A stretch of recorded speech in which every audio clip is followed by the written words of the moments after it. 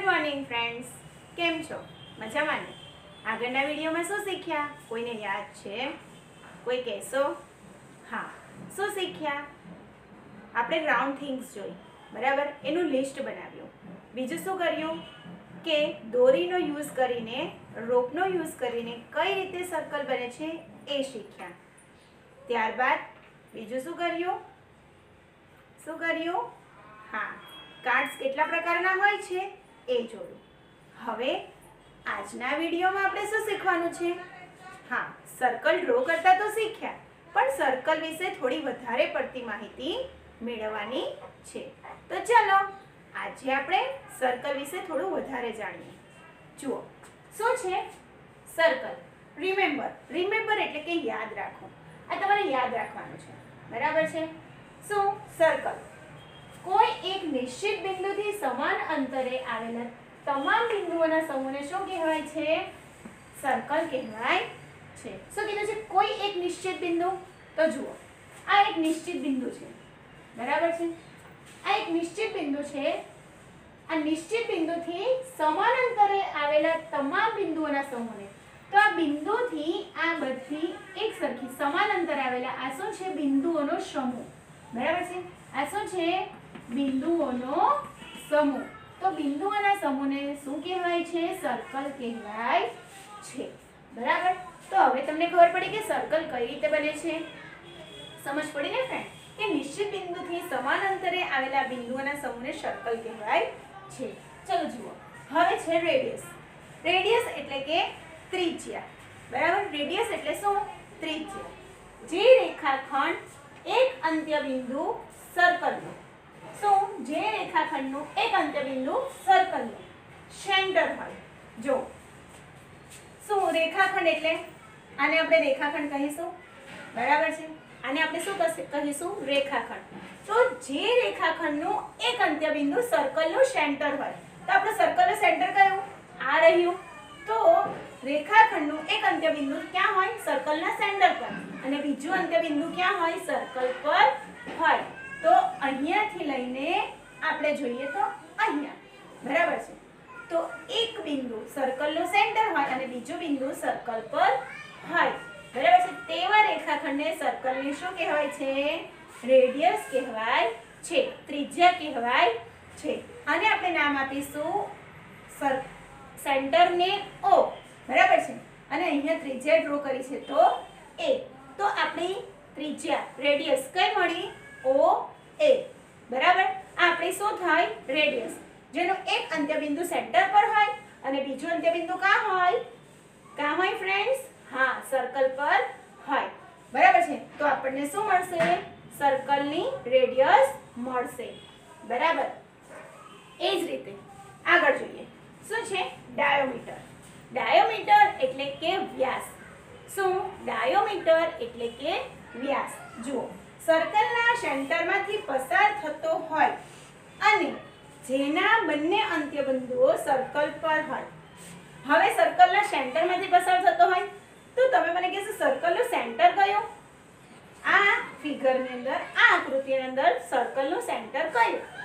હા, અને કહેશો સર્કલનું centre.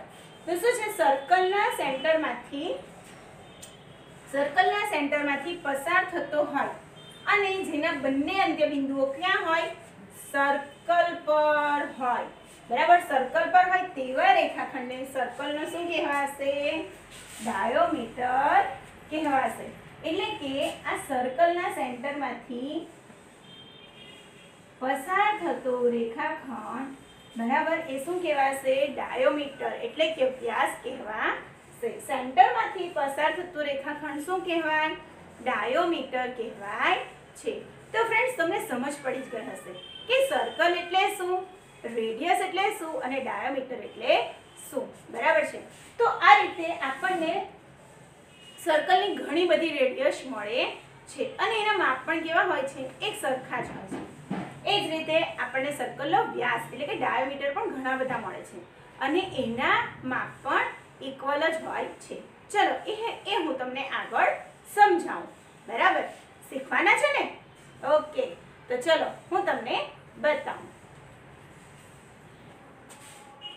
Friends circle radius and diameter હવે જોઈએ કે એક સર્કલની અંદર કેટલી રેડિયસ મળે છે એન્ડ કેટલા ડાયામીટર મળે છે.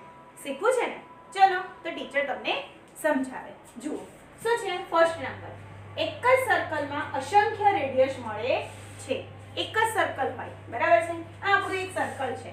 એની અંદર અસંખ્ય રેડિયસ મળે છે. બરાબર? અસંખ્ય.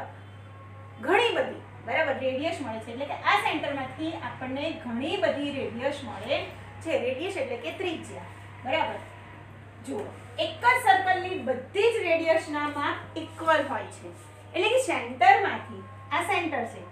સેન્ટરમાંથી જેટલી પણ રેડિયસ હશે, બરાબર છે? જેટલી પણ રેડિયસ મળે છે, એ બધાના માપ કેવા હશે? ઇક્વલ એક જ સરખા હોય છે.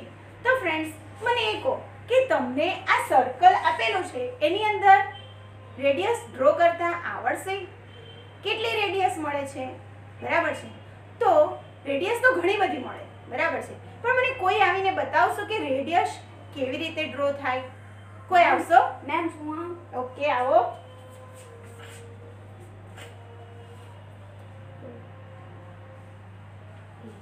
દીકરા આ શું ડ્રો કર્યું? રેડિયસ વેરી ગુડ તો આવી સર્કલમાંથી આપણને કેટલી રેડિયસ મળે? 4 અથવા પાંચ. ઘણી બધી. ઘણી બધી. કેટલી મળે? ઘણી ઘણી બધી. અસંખ્ય. ડ્રો કરો.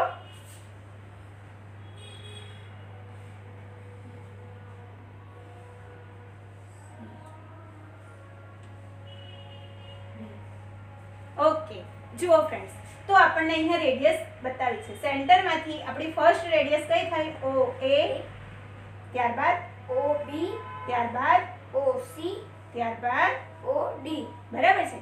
આ આપણને થોડીક રેડિયસ બતાવી છે. આવી તો ઘણી બધી અસંખ્ય, બરાબર છે? રેડિયસ મળે છે. બેસી જાઓ. ઓકે હવે જુઓ, એ જ રીતે આગળ. એક જ સર્કલમાં અસંખ્ય ડાયોમીટર મળે છે. બરાબર છે? શું? એક જ સર્કલ છે. આપણું આ એક સર્કલ છે. એની અંદર અસંખ્ય ડાયોમીટર મળે છે. એટલે કે ઘણા બધા વ્યાસ મળે છે.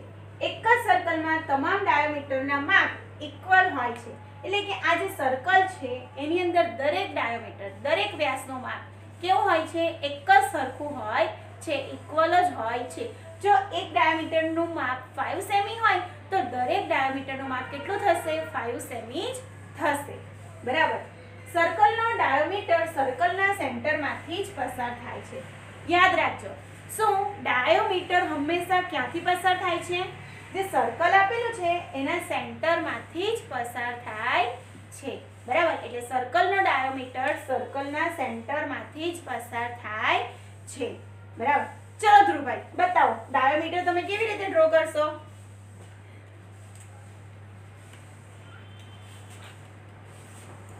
વેરી ગુડ સરસ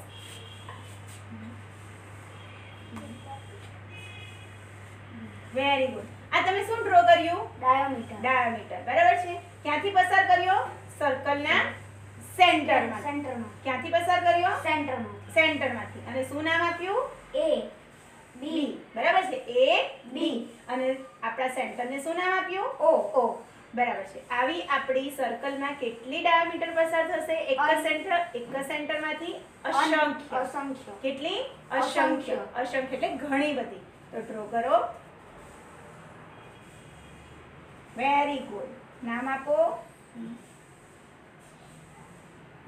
સરસ. બીજી ડ્રો કરો. વેરી ગુડ ઓકે બેસી જાઓ. ફ્રેન્ડ્સ તો તમે જોઈ કે સર્કલના સેન્ટરમાંથી ઘણી બધા ડાયોમીટર પસાર થાય છે અને દરેકનું માપ કેવું હોય છે? ઇક્વલ જ હોય છે. તો હવે તમને સમજ પડી કે સર્કલની અંદરથી રેડિયસ કઈ રીતે ડ્રો થઈ? એટલે કે કઈ રીતે હોય છે? એન્ડ ડાયોમીટર કઈ રીતે હોય છે? ચલો જુઓ આગળ. એક જ સેન્ટરમાંથી અસંખ્ય સર્કલ મળે છે. જુઓ ફ્રેન્ડ્સ આ છે સેન્ટર હવે આ સેન્ટરમાંથી આપણને અસંખ્ય શું મળશે? સર્કલ વર્તુળ મળે છે.